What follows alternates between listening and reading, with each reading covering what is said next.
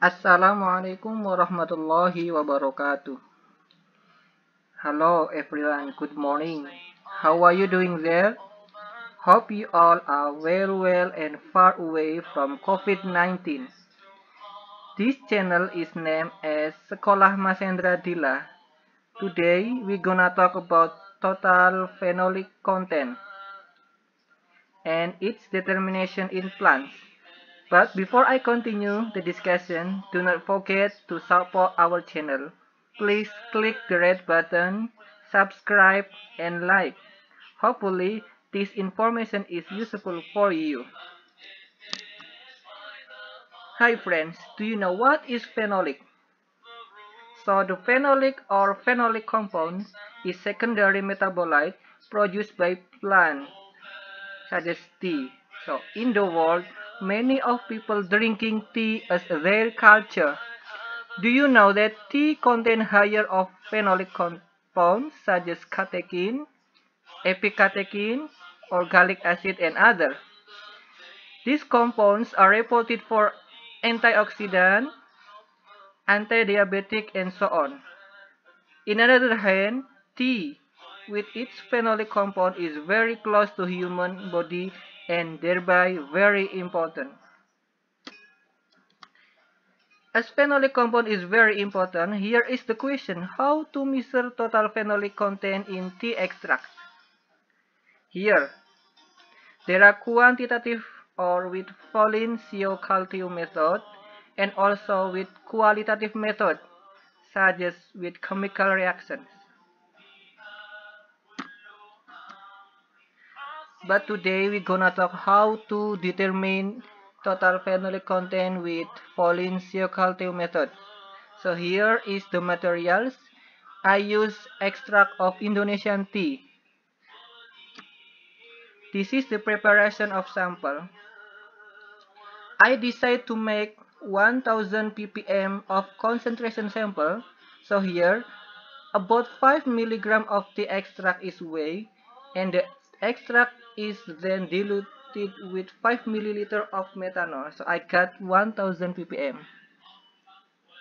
The next preparation I need is Folin reagent with 10 times dilutions. Here I took 5 milliliter of FC reagents and then the 5 milliliter is reacted with 45 milliliter of distilled water or 10 time dilution was made. The next material is 7.5% of sodium carbonate. So here about 7.5 7.5 gram of sodium carbonate then I dilute with 100 milliliter of distilled water. The next is the protocol. The protocol is very easy. Here we can say that about 0.5 milliliter of sample with 1000 ppm concentration reacted with the 2.5 milliliter of FC reagent. And then the reaction is stood for 2 minutes.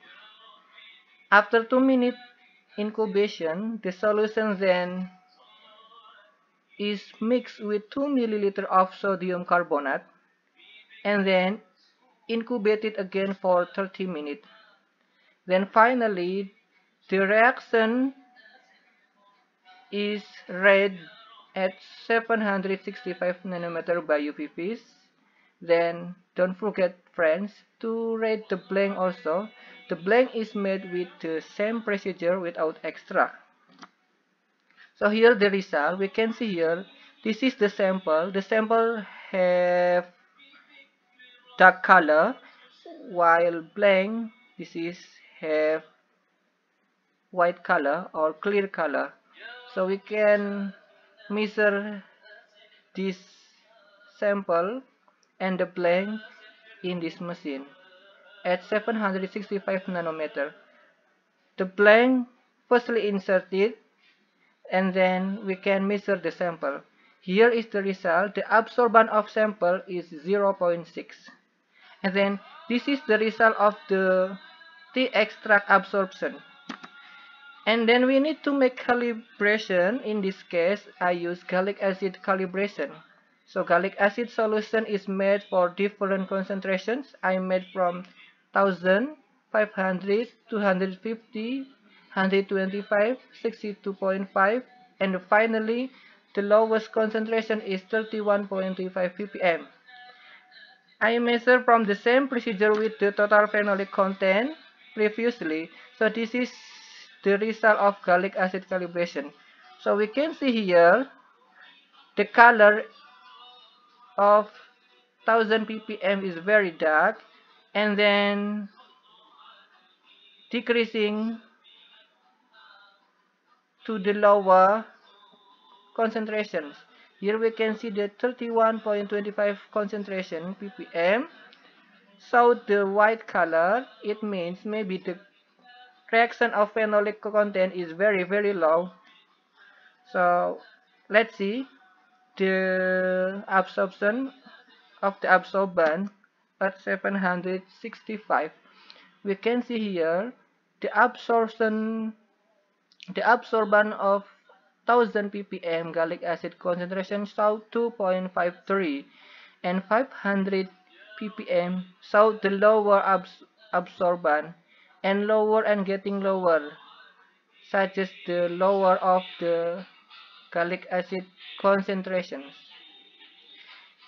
And then after we get these values we get information we can make the curve of gallic acid and absorption here the result the r square equal 0.99 or close to 1 while the y equal 389.92x plus 13.983.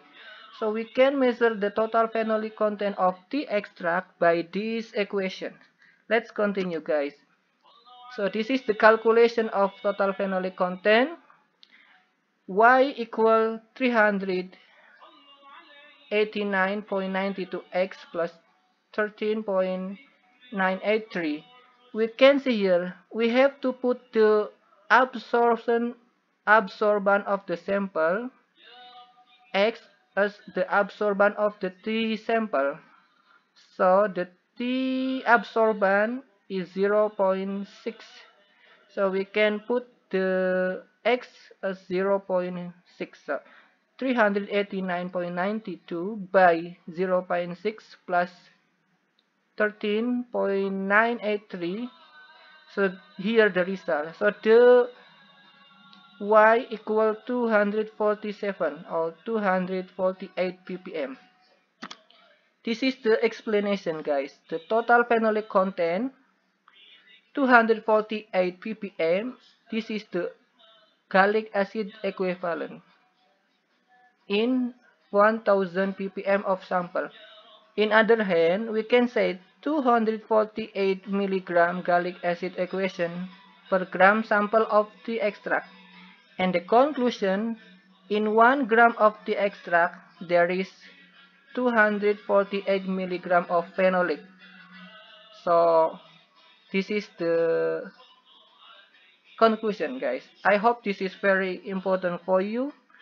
And thank you for coming to our channel. please do not forget to like subscribe and comment in below well thank you very much terima kasih matur nuwun wassalamualaikum warahmatullahi wabarakatuh